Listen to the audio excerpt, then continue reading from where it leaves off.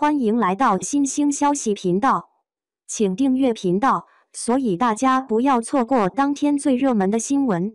我们今天的时事通讯包括以下内容：赵丽颖新绰号赵满楼，云南拍戏被围水泄不通，这国民度服了。说起赵丽颖，典型的真人励志题材，现实版的草根逆袭未亡，如今的她已经是顶流的存在。谁能说不呢？不信你来看看。日前，赵丽颖在云南拍摄自己的新电影《虎狼之路》，当影迷粉丝得知后，纷纷跑去围观，想一睹真人的风采。这下可好，所到之处被围得水泄不通。赵丽颖立刻获称赵满楼，这国名号赵丽也是没谁了。这种盛况可是多少年没有见过的啊！估计当地政府的启动应急预案了。知道赵丽颖火，可也没有想到能火成这样啊！不知道的还以为有什么大事发生呢。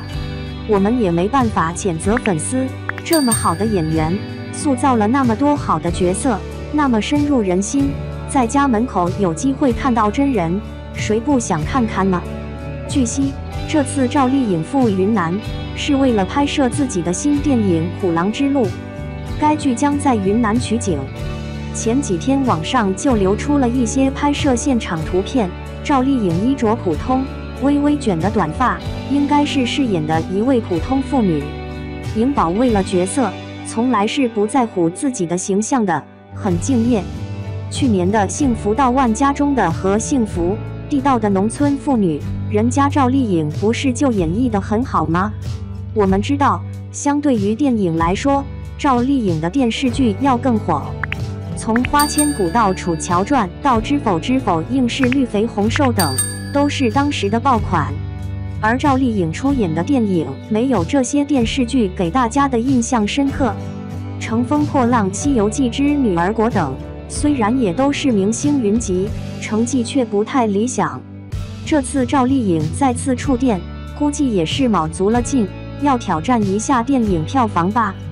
这部《虎狼之路》是一部以寻找被拐卖儿童以及与拐卖儿童做斗争的故事，是一部现实题材的故事片。句号，这种话题非常能引起大家的共情。谁生活中没有孩子？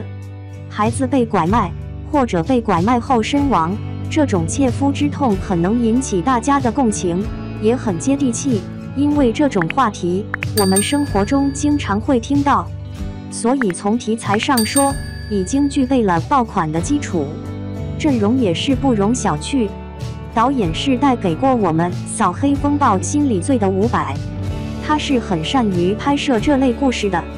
而女主就是我们的赵满楼，男主是和他在《谁是凶手》中有过对手戏的肖央。肖央触电大荧幕后也是成绩不俗，《误杀唐人街探案》系列都让他成功进入演技派的行列。另一位男主则是香港演员冯德伦，不仅有着帅气的外形，本人也同时是导演。我们的大美女舒淇看上的老公怎么会差呢？这样的阵容，无疑又是成为爆款的有力加持。这是赵丽颖五年之后转战大荧幕的转型之作，相信赵丽颖也会非常看重这部电影，所以一定会努力演绎。争取在大荧幕上给大家交上一份满意的答卷，让我们一起期待赵丽颖的新电影吧！预祝赵丽颖在电影之路上再次奏响辉煌的乐章。您怎么看？欢迎评论区和我一起讨论。